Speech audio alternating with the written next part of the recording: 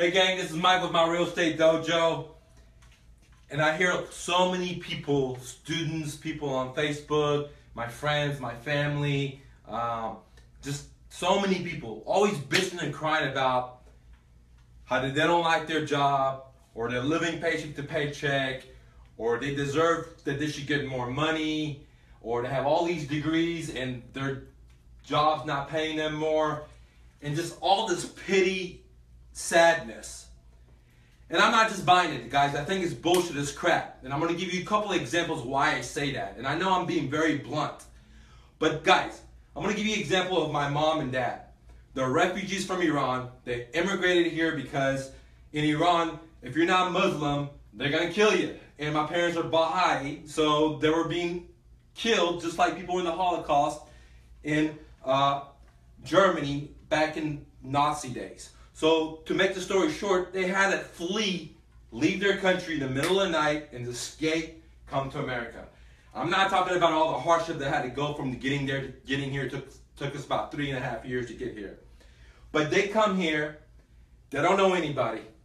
Both of my mom and dad don't speak English. They don't have any credit, they don't have any money. My mom and my dad both don't have high school education. My mom is 100% illiterate. When I mean illiterate, I mean that she can't even read hello or yes. She can't read, guys. And my dad taught himself how to read when he got to America.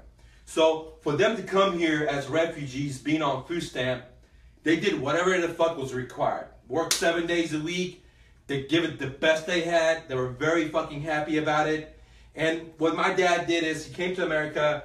He starts selling ice cream in an ice cream truck and if you guys know about Texas, dude, in the summertime it's like 100 degrees out there. In his truck, it's probably 115 degrees. And he did that seven days a week, year after year.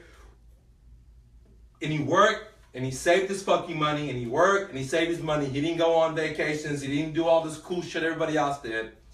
And after him being able to save his money, he was able to open his own business, uh, a pizza place.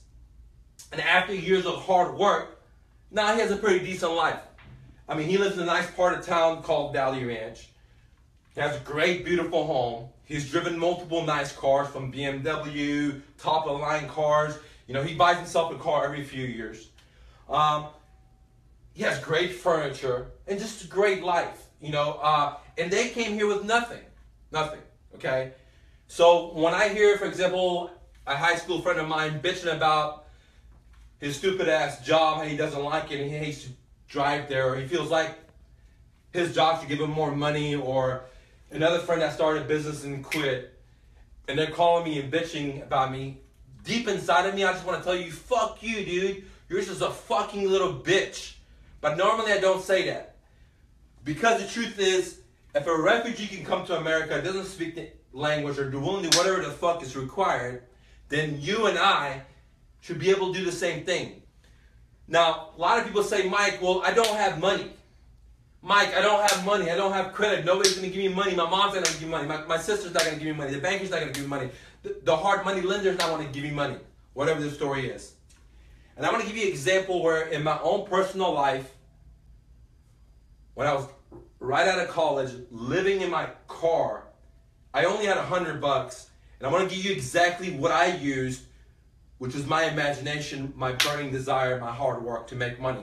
So I was living in my car. I didn't have any money to print any kind of flyers, anything like this. So what I would do is I would go to the apartment communities where I live and I would go into their office centers because a lot of these apartments have office centers, they have a computer, they have a printer. And what I would do is I would use their computer because I didn't have a computer.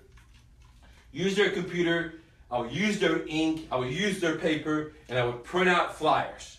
And I would, you know, in every apartment complex, they may have like a 100 sheets of paper. So I would go to 10, 20 different apartment complexes, use their printer, use their paperwork, go to a library, use their printer, use their paperwork. At that time, libraries didn't charge like they do right now, 10 cents per sheet or whatever.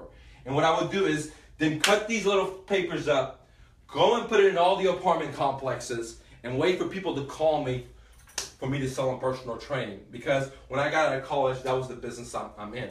So I didn't have any money to print paperwork. I. I wasn't a.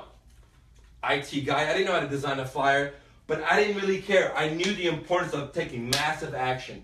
And the first flyer I made was look like piece of shit, guys. And once I did one or two transactions, I instantly knew the importance of image. So I paid that IT guy to make a better this flyer design. And so what I'm saying is, you don't need any money, you don't need any credit. That's what people tell you you need. The bankers tell you that. All those fools that never chase their fucking dreams. All those guys that had a dream and, and they decided they didn't want to go after it because it's too fucking hard or somebody else burst their bubble. Those are the same fools they're telling you you can't chase your dreams. Now, when I say fools, I don't mean I disrespect. I love everybody, guys. I have love for everybody. And a fool can be your friend, it can be your family, it can be your spouse, it can be your parents, it can be your partner. Anybody that has given up, they're just laying back on their dreams. You know, I believe that we all have a purpose in life. Somebody's meant to cure X, somebody's meant to discover Z, somebody's supposed to be an entrepreneur, somebody's supposed to be the best teacher, somebody's supposed to be the best police officer. I believe we all have a purpose in life. And I believe that if we don't go out there, chase our dreams, we can't contribute to mankind. We can't contribute to earth. And when you go out there and you work on and improving yourself, when you go out there and try to harvest more than what you need, then you're going to have the freedom to help your neighbors. Then you're going to have the opportunity where you're not worrying about the money, you're not worrying about the cheese. You, you don't just need to work.